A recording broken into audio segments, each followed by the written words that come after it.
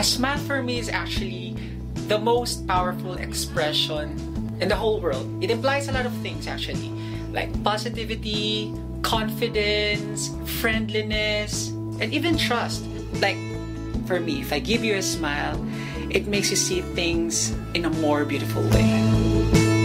Hi, I'm Fonzy, an events manager here at EDSA Shangri-La, Manila.